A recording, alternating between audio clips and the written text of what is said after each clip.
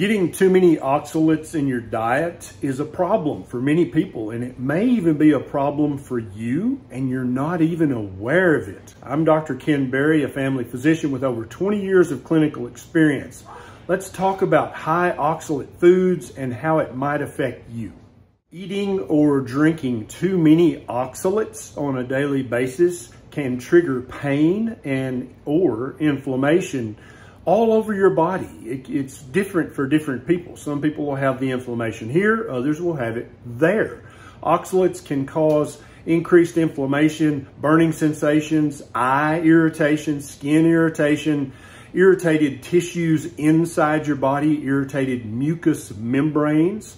That's your mouth and nose and other mucous membranes. Uh, it can cause the formation of calcium oxalate stones, kidney stones. I promise you don't want one of those.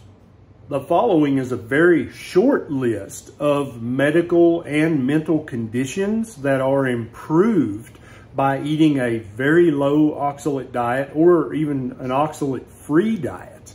They include but are not limited to autism spectrum disorders, chronic candida, chronic fatigue, COPD, uh, asthma, cystic fibrosis, fibromyalgia, hormonal imbalances, insomnia, joint pain, kidney stones, thyroid disease, uh, and then chronic inflammation or burning in the bladder, in the vagina, or other perineal regions. Now, the ability to tolerate oxalate ingestion, like most things in human physiology, follows a normal distribution curve. Some people are not very affected by even a high oxalate diet. Some people are exquisitely sensitive to even a low amount of daily oxalate ingestion. You have to figure out which one of these people you are, and you do that through trial and error. You do that through personal experimentation. If you're having any of the conditions I listed above, or just chronic inappropriate inflammation, uh, chronic elevation of your markers of inflammation, and you're not really sure why, then I would highly encourage you to do a 90 day trial of eating a very low oxalate diet or a diet that's oxalate free. This is another great reason that I love the triple B and E diet uh, for 90 days at least. Triple B and E stands for beef, butter, bacon, and eggs. These are all oxalate free and are going to give your body a break from daily oxalate ingestion. And if you are suffering, if you're one of those people who are exquisitely sensitive to even low levels of daily oxalate ingestion, you're going to get tremendous amounts of relief in that 90 day period. Now, there is some renal physiology research that shows that for most people, it's probably perfectly safe to ingest between 100 milligrams and 200 milligrams a day of oxalates. But as I said earlier, there are some people who are exquisitely sensitive and they should never ingest that many oxalates on a daily basis, whether it's in food that they chew up and eat or it's in a liquid form, a smoothie or some green drink or something that they drink every day. Uh, some people can tolerate that, but many, many people cannot tolerate that. But make no mistake, every human being on planet Earth is sensitive to oxalates above a certain level. And uh, many people have found this out the hard way by ingesting too many beet greens or rhubarb leaves or poke salad leaves.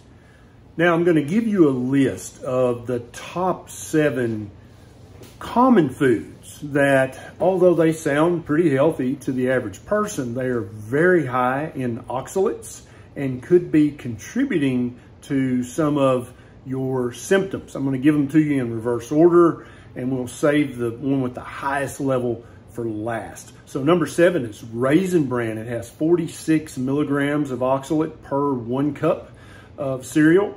Number six on the list is Navy Beans with 76 milligrams per one half cup serving. Number five are beets, and they have 76 milligrams of oxalate per one half cup. Number four on this list is corn grits, and really anything made of corn. Uh, it's going to have 97 milligrams per one cup serving. Number three on this list is a baked potato with the skin. One medium baked potato with the skin is going to have 97 milligrams of oxalate.